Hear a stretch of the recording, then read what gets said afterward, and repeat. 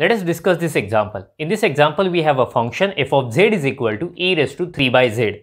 So we have to find its singular point as well as its type also.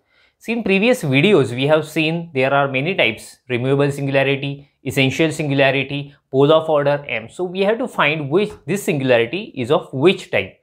Let us write a given function first. So we have f of z is equal to e raised to 3 by z. So you can easily see if I put z is equal to 0 since z is, is in denominator in a power of e. So if, if I put z is equal to 0 you will have 1 upon 0 form getting infinity. So that's why z is equal to 0 is a singular point. So therefore z is equal to 0 is a singular point okay singular point. So after that we have to find its type. So what will I do? I will take a help of Laurent series. I will expand it and let us see it is of which type. So f of z is equal to e raised to 3 by z. So all of you are familiar with a series of e raised to z. The same series I am going to use.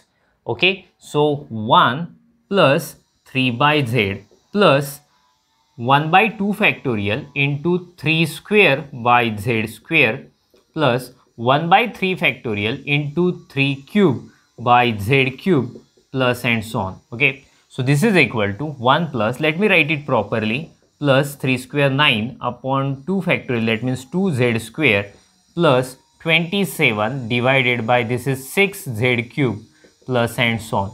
So as you can see only for first term there is no z in denominator. So that is the analytic part.